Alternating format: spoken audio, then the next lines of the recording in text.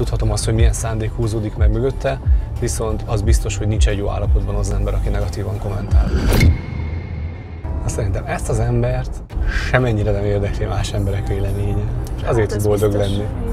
Azt hiszem, hogy ez az első számú oka annak, hogy az emberek boldogtalanok. Lámpáz a másik. Túl, túlságosan érdekel az, az, hogy más emberek mit gondolnak, más emberek véleménye, hogy ítélkeznek fölöttünk. Egyáltalán nem vagyok ettől mentes, de igyekszem.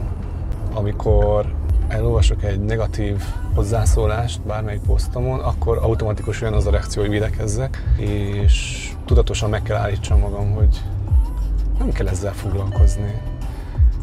Az a helyzet, hogy azok az emberek iránt, akik negatívan szólnak hozzá, bármilyen posztod van, lehet az egy teljesen pozitív poszt, vagy egy megosztó poszt, vagy egy olyan poszt, ami tényleg negatív reakciót vált ki az emberekből.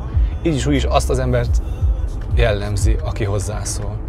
És úgymond empatikus vagyok velük szemben. Uh-huh. Végül is sikerül legyőzni azt, hogy ne kezdjek védekezni, vagy reagálni arra a negatív kommentre, hogy belegondolok, hogy ő milyen helyzetbe kell legyen, hogy ez a véleménye. Uh-huh. És nem segítek semmit azzal, hogy elkezdem feszegetni, vagy ellenkezek vele. Nem tudhatom azt, hogy milyen szándék húzódik meg mögötte, viszont az biztos, hogy nincs egy jó állapotban az ember, aki negatívan kommentál. És nem tudhatod, hogy mik vezettek ide, hogy ő Igen. így reagál bizonyos dolgokra. mit váltott ki belőle az a, az a hozzászólás, vagy az a poszt, Uh-huh. amire éppen ő ezt a negatív hozzászólást írja.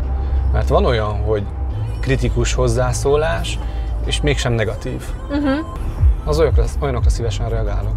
Hogyha valakinek nem válaszolok, az is lehet, hogy azért nem válaszolok, mert olyan a hozzászólásod, hogy nem tartom érdemesnek arra, hogy erre reagáljak, mert csak vitákat szülne, ami nem vezet sehová. Úgy mindenkinek tiszteletben tartom a véleményét, talán ez a másik ok, amiért nem reagálok bizonyos hozzászólásokra.